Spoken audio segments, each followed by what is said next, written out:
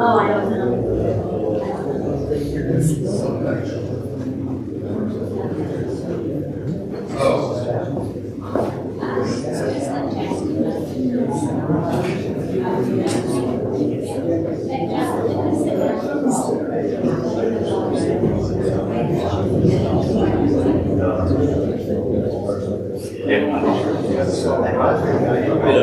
Yeah, you're right.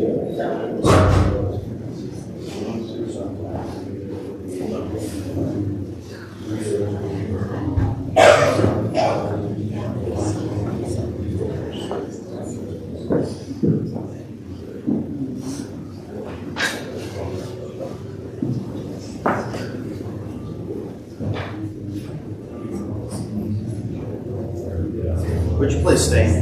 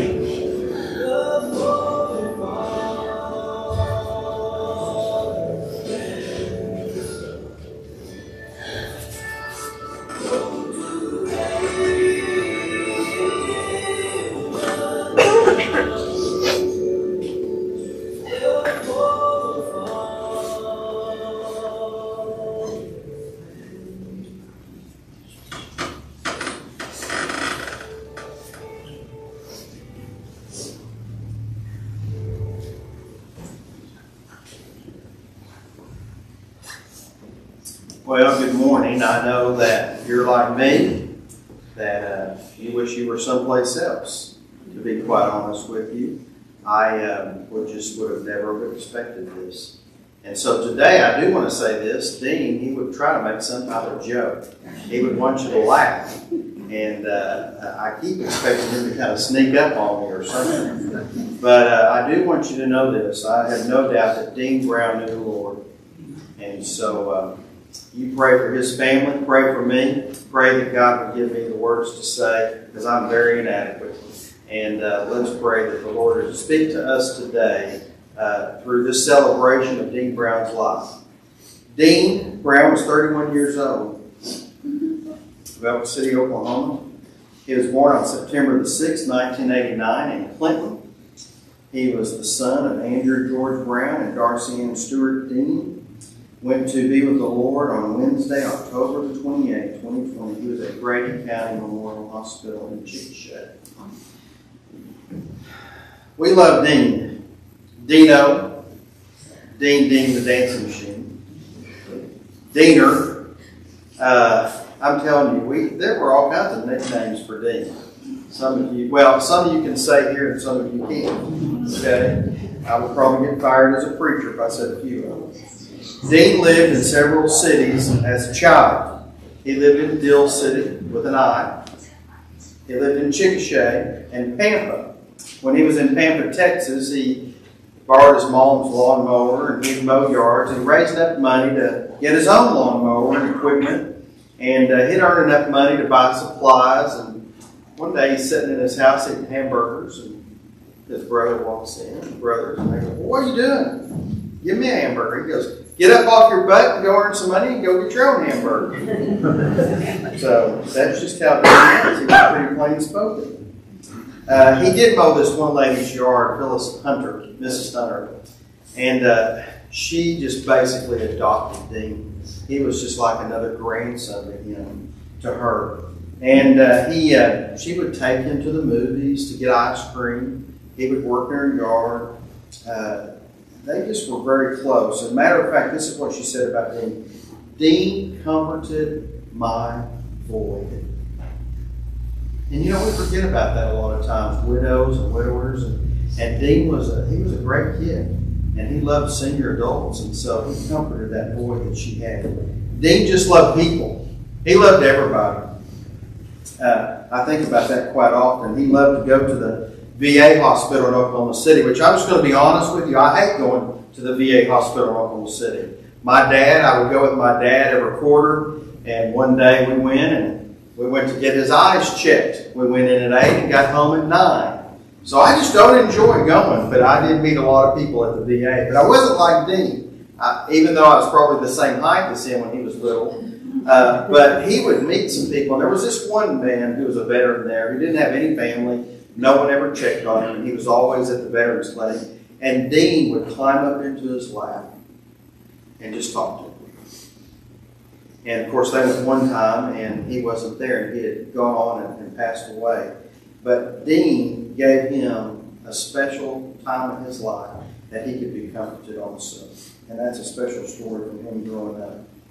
Um, you know, uh, he learned about how to treat veterans, not just there, but also through Mr. Long. Mr. Long would always talk to the students about how you should treat a veteran. And uh, so he would always pay for a veteran's coffee or meal or something like that. And when he was in line in a line somewhere, he would let a veteran, if he saw a hat or shirt or jacket or something, he'd always let them go ahead of him at the airport or whatever, wherever he was.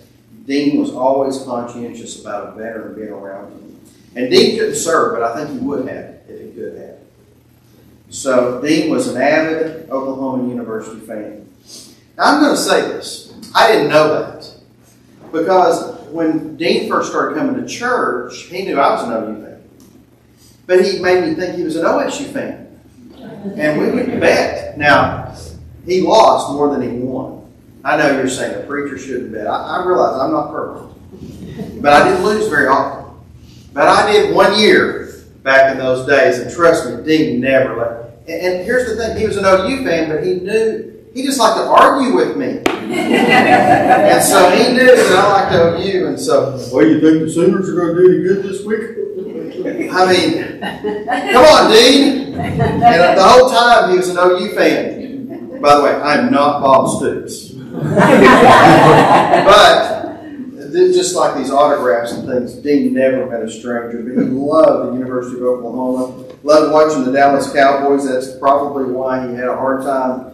Uh, that probably led to some illness watching the Dallas Cowboys. and um, then he also liked the Oklahoma City Thunder. He also enjoyed traveling and seeing different parts of the country. He loved spending time with his family and friends, including his FFA friends and family, Larry and Linda Long. He also enjoyed showing at the county livestock show, and his greatest thrill was winning the grand champion barrow at the Elk City Beckham County Livestock Show. That made his day. So, Larry Long shared on face on the funeral home side. I'm going to read this to you. And uh, Dean will be loved and missed by all who knew him. So very sorry to hear about Dean. He had a great, he was a great FFA member and officer. I very much enjoyed being his teacher and had many favorite stories with him. Some we can share and some we can't. Like the time we were in the National FFA Convention in Indianapolis, and Dean said that he wanted to meet the National FFA advisor, Dr. Larry Case. Well, we went through all the security and got backstage and met him, and Dr. Case told me years later that he didn't know how we got back there. And also the time that they were in Stillwater and they were eating in a restaurant, Mike Gundy was there. And uh, Dean wanted to meet him. Well, we did, and I never told him that Dean was an OU fan. Not quite sure if, no, I'm kidding. so many great memories. And uh, Dean was had an outgoing personality and friendship uh, to all and will always be remembered. Rest in peace. I know that the man upstairs will have a special place for you. Loved him greatly and will miss him, Mr. Long. You know, one thing I can say about Dean Brown is he was unique. Now, there's another Dean Brown, but I'll tell that story a little bit later. He met and got autographs from the last three Oklahoma University football coaches. You can see some of these here. He pretended to be Miranda Lambert's cousin. and actually got backstage, and she actually responded to him as cuz. Oh my. you know, Dean also went to the White House, and uh, I think it was on one of the FFA trips. I went to the White House, and he's there, and they weren't going to allow him to go into this certain area. But Dean, obviously, if you told him he couldn't go, what did he want to do? That's where he wanted to go. I have a 13 month old grandchild just like that. And so there's this line, and the Secret Service is there. And uh, the Secret Service tells him, actually knows his name, says, Dean, you can't cross that line. Well, I got, well come on, let me, let me cross the line. Come on, we're friends. Come on, let me do this. you can't do it. Don't even touch it. What does Dean do? He puts his foot on the line. and he pulls him back and says, Dean, I tell you, you just need to know that there's a sniper on you right now. So do not go any further. That's about the only thing that stopped Dean. so Dean lived on that line. You know, uh, one of the things too, and I wrote this, Dean would argue about anything. He just loved to argue. He loved to argue with his brothers. And he loved to argue with his dad. And they would Google to find out who was right, and sometimes both of them were wrong. So, but he would stay up and try to figure out when that win that argument. Uh, you know, Dean loved to sing. Now, he wasn't a great singer, but he loved to sing. Okay, but it was painful. Okay, um, and you know, this is like buying your child a drum set. They bought Dean a karaoke machine, and he put in Toby Keith, and he played it till literally the CD wore out. It really did. And uh, he would play this courtesy of the red, white, and blue. I think he just liked to say the bad word. Uh, I think he played that over and over. And here's the thing about it: if it was on and it came on at two o'clock in the morning, what did Dean do? He turned it up and sang with it. That's what he did. It didn't matter when it was. He he didn't really care about time. Some of you know because he would call you at late at night, early in the morning, early, early. Uh, he loved going to Las Vegas with Chris Bankston. There's no telling what's going on with him and Chris right now. He loved trading uh, or traveling to the Dakotas and to Mount Rushmore. And of course, if you know Dean, he never met a stranger. And uh, he loved that. He loved this place in more. Now, I'm not sure if I'm going to say this right, so please correct me. Um, Hildagos. Yeah, right. Okay, Hildagos. Okay, he loved to go there. He loved the special, which was called the Hildago, and it was kind of like a burrito and chicken and things. And he loved that. And they pretty much knew that's what he wanted the minute he walked in. He loved to go to Peter G's. And uh, as he would walk into Peter G's, and of course, I'm sure that they talked a lot of sports. Uh, and he would start frying his noodles the moment he walked in. And so uh, that was just Pete. And uh, that was Dean and his relationship. Well, I know that from so many that are here today, we're going to miss Dean. We really are. Um, you know, I don't walk like I used to. I don't have as bad a limp, but Dean, I could recognize Dean coming from a distance just from his walk. You know, and so I would see him down the long hallways at church or at school, and I knew Dean was headed my way. But we're going to miss him. Those that are going to miss him also include his father, Andrew Brown of Chickasha, Oklahoma, mother, Darcy Brown of Chickasha, Oklahoma, his brothers Joshua and partner Jessica of Crescent, Oklahoma, Randall Brown and his wife Whitney of Elk City, sister Katrina Mobley of Mangum, his aunt Diana Woods of Altus, three nieces and one nephew, and of course a host of relatives and friends. And I want to say this: he loved his nieces and nephews, thought the world of them, and uh, just just loved them to pieces. So, if you would like to make a memorial uh, because of his love for veterans, you can give to the Wounded Warrior Project. Dean loved John 3.16. For God so loved the world that he gave his one and only Son, that whosoever believes in him should not perish, but have everlasting life. Let's pray. Father, uh, I imagine that Dean, just like every other celebrity, he couldn't wait to meet you. I'm sure that he uh, he went directly to you and to the feet of Jesus, Father. And, and so, Lord, today we're a little bit jealous that he's in your presence today and we're not. Father, we're grateful that he knew you. We're grateful that he loved you. We're, we're praying, Father, that you would minister to this family. We pray, Lord, that you would help them as uh, they walk through this valley of the shadow of grief. Now, Lord, before we do this next song, we're going to have a few people, if you would like to just say a few words. So, is there anybody here who'd just like to maybe stand where you're at, just take a moment, and uh, just share for a moment? Anybody? Mr. Long?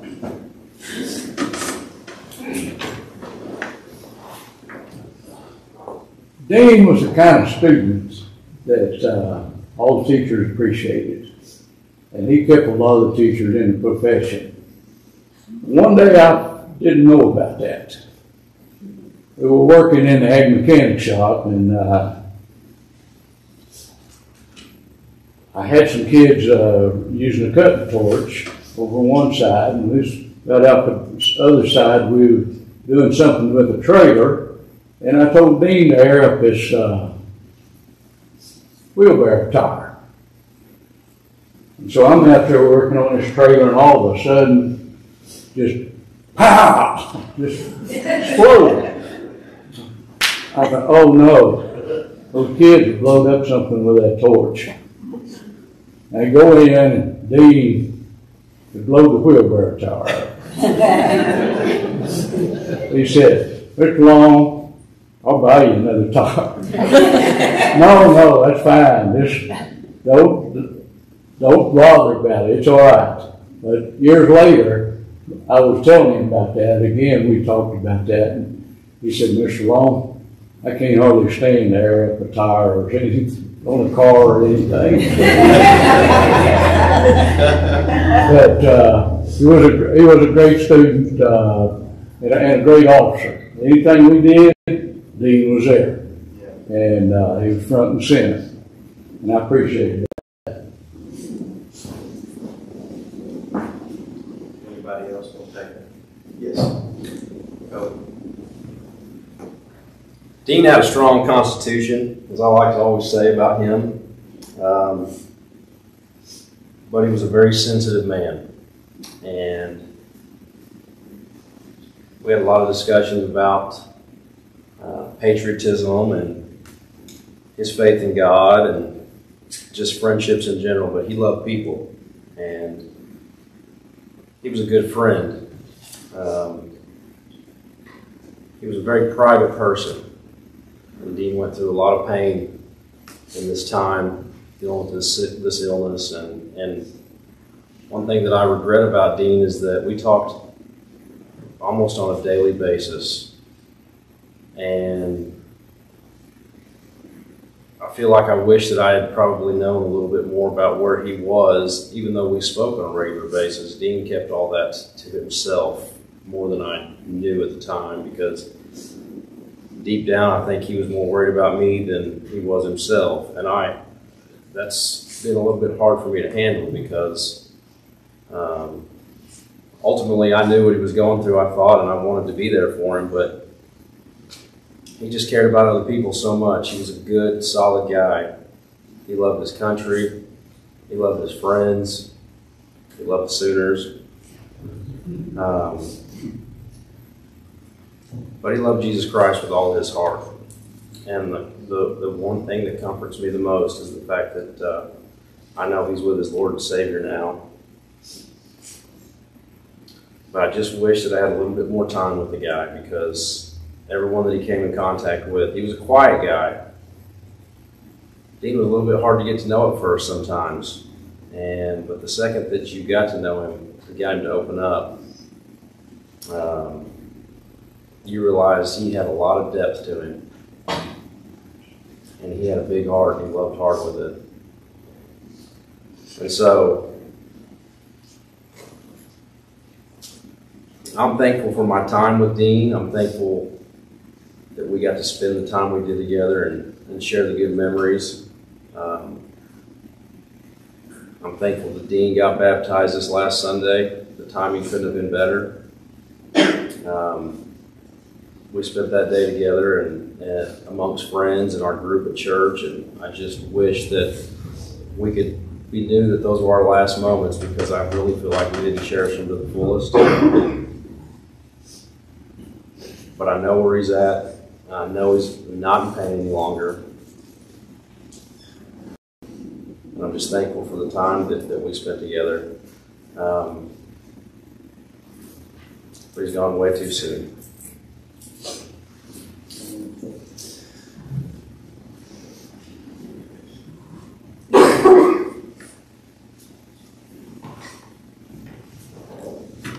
All right. We are going to have a song that we can listen to and, uh, in.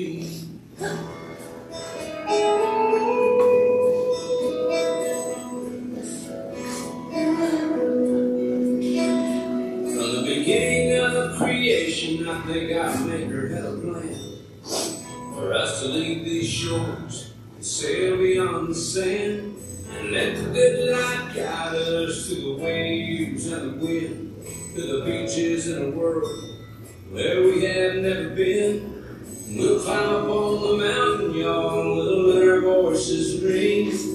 Those who never tried they'll be the first to sing.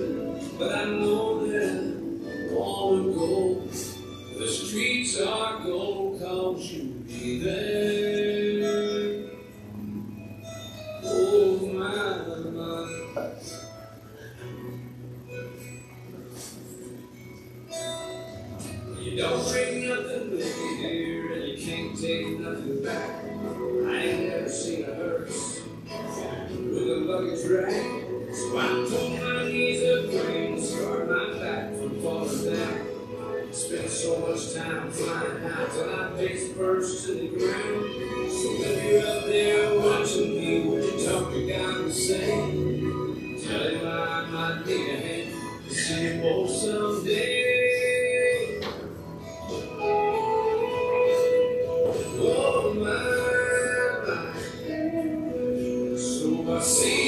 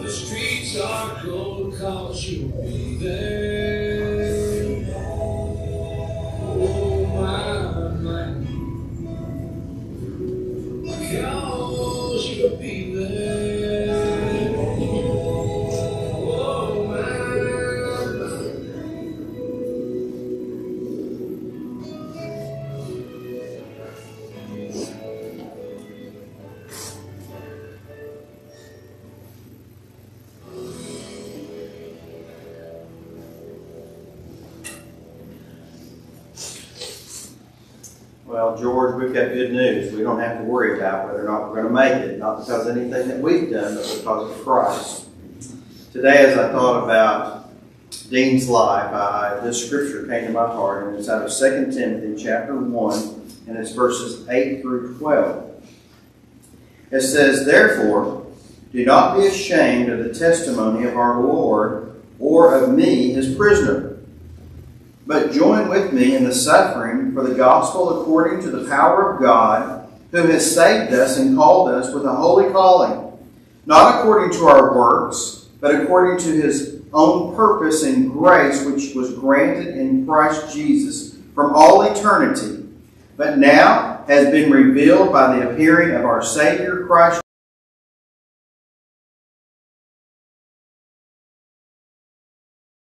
to through the gospel, for which I was appointed a preacher and an apostle and a teacher. For this reason I also suffer these things, but I am not ashamed, for I know whom I have believed, and I am convinced that he is able to guard what I, he has entrusted to him until that day.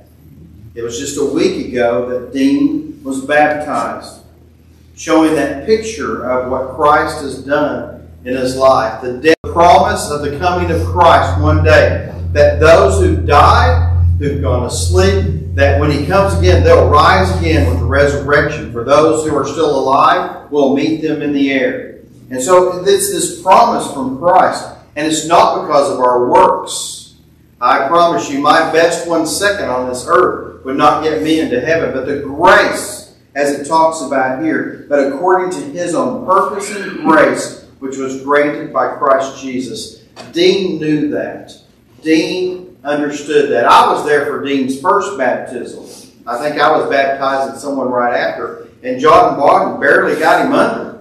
I mean, it was a fight. And uh, I, I, I actually laughed. Uh, it was quite humorous. And so, and I did give Dean a hard time when he came out, you know. And, and so I want you to understand that it's not the baptism that saved him, it's the grace and the purpose of Christ. God's grace is what saved Dean. But the reason he was baptized is because Dean Brown was not ashamed of the gospel. He wasn't ashamed. He didn't care. He wanted everybody to know that he knew Christ. The other thing that I picked up in this text, so number one, Dean wasn't ashamed of his testimony. By the way, Dean loved Falls Creek, and he would get to know everybody at Falls Creek and a guest speaker, and he would go all over the camp. But Dean also suffered, losing his spleen, his illness. Dean was in a lot of pain. And so as I read this text, and I read that, but join with me in the suffering for the gospel. You know, Paul suffered for sharing the gospel. Stone, shipwreck, you name it. Dean was suffering. He was hurting. I don't really understand why some people have to suffer and some people don't. But I do know this that we do all things for the glory of Christ. Whether it's good or bad, whether it's suffering or not, we do it for Christ's glory. And so today, by you being here, Dean's testimony through suffering through these past few months, I want you to know that that glorifies Christ. And that was the last thing he wanted people to know as he was baptized. That he wanted to glorify Christ through that baptism. Kobe, I'm glad you were there. And if you saw the picture, man, there was no fight. He was excited. He was thrilled. He came up out of that water. I mean, he was a new person, a new man. He was not ashamed, but he did suffer. This has been a hard year. And Dean hated going to the doctor. I, I can relate to that. I mean, he just hated going to the doctor, and he didn't like to be poked and prod, and he just didn't enjoy it. He didn't like it, but uh, I don't know. I do know this that sometimes you can say, well, what if he went to the doctor, and what if he did this? The truth of it is, God has appointed all of us to die. In Hebrews 9.27. It, it didn't surprise God. And in Psalms 139, all the days of our life are written in a book as though there were none. So it's not like if he had went to a different doctor or had a different treatment, or if he had done this on one day and this on another day. God knows when every one of us are going to die. And so we have to trust him. Our trust is in Christ. But Dean's suffering glorified Christ. I wish he wouldn't have had to suffer, but it did glorify Christ. Also through this, it was through the power of God, Dean was saved and called home. It's because of his power. We really have some misconceptions about what it means to be saved, what it means to follow Christ. And, and we need to recognize that we serve an all powerful God who is more about grace than judgment. Now, we'll all be judged by Christ one day.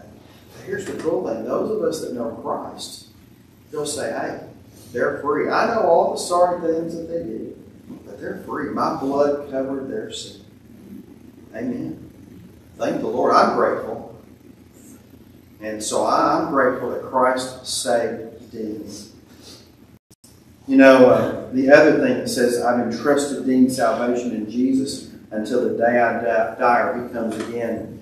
Um, last Thursday, Bailey, my daughter, texted me, and she works for Dr. Badgett and she said, Hey, uh, have you heard anything about Dean Brown? And I went, No. I text back, No, what do you mean? And she said, Well, I heard that he died. So I called Hal Pinner, the chaplain for the Weatherford Fire Department, and said, Hey, did Dean Brown die? And he said, Oh, let me call him. So he called over the fire station over at Weatherford and checked to see. And that, that time, Rick Dugger called me and he said, Hey, would you do a funeral for, uh, I have a 31 year old Dean Brown that's passed away. What? Not. See, this Dean Brown never crossed my mind that he died. Now, Dean Brown, the fire chief of Weatherford, he's old. He's a good friend of mine. You can quote me. You can tell Dean. But him and Dean were friends because Dean loved to be around the firehouse. And uh, but him, he went to go meet Dean Brown because they had the same name. I almost started a really bad rumor in Weatherford. Here's the thing. I never thought it was this thing. That never crossed my mind. And then when I heard it, then I couldn't believe it. I was in a little bit of denial. This can't be true. I just saw Randall on Whitney Sunday. I think I asked about David. You know, this can't be true. Sometimes when we hear this news, we may not believe it. But I also knew that Dean knew the Lord, and that gave me comfort. It really did.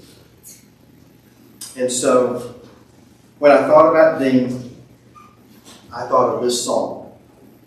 Now, I promised the family I wouldn't sing it, but I want to share the words to too. I changed one word on it, but it was perfect for Dean. Got the news on Thursday morning, but a tear I couldn't find.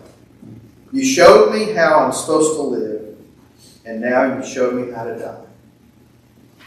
I was lost till Sunday morning. I worked up, faced faced my fear. While writing you this goodbye song, I found a tear. I'm going to miss that smile. I'm going to miss you, my friend. Even though it hurts the way it ended up, I'd do it all again. So play it sweet in heaven, because that's right where you want to be. I'm not crying because I feel sorry for you. I'm crying for me. I got up and dialed your number, and your voice came on the line with the old familiar message. I heard a thousand times it just said, Sorry that I missed you. Leave a message and God bless. I know you think I'm crazy, but I had to hear your voice again. I'm going to miss that smile. I'm going to miss. Toby Keith wrote that for Wayman Tisdale. That fits for Dean. I'm going to miss him. I'm going to miss his honoring arguments. I may just start an argument with somebody just in Dean's honor sometimes. just over anything. Because literally, we could argue over. I'm going to miss his sen- sense of humor. I'm going to miss his honoriness. Sometimes I wanted to slap him. I just wanted to haul off and just slap him and say, Dean, listen to me. Anybody else have that feeling? You know, sometimes you go to funerals, they, they only talk about the good. Well, you know, I'm not perfect either. And uh, but Dean, I just loved him. So even though we would just argue, I just really enjoyed this. And I'm glad that you folks are here to encourage this family. They're going to need this. And uh, some of you need encouragement. I hope you know that we're praying for you too. And uh, I'm going to pray for us. And uh, we're going to uh, continue to celebrate, tell some Dean stories, encourage this family. Let's pray. And we're going to, we're to have a song. of Holy Hymn. Father, thank you for Dean. Lord, I know he's there with you, and I know that he's probably asking a thousand questions.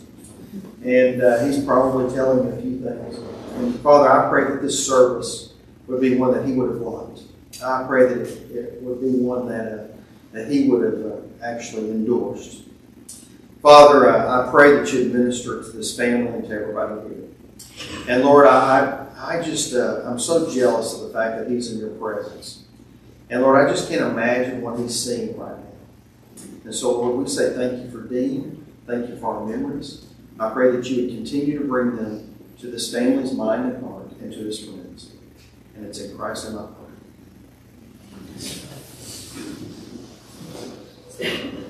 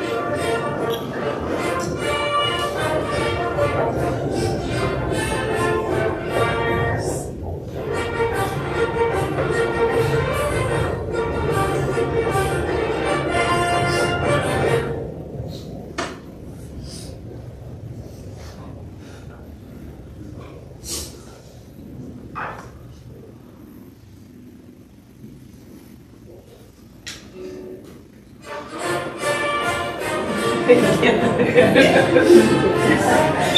you.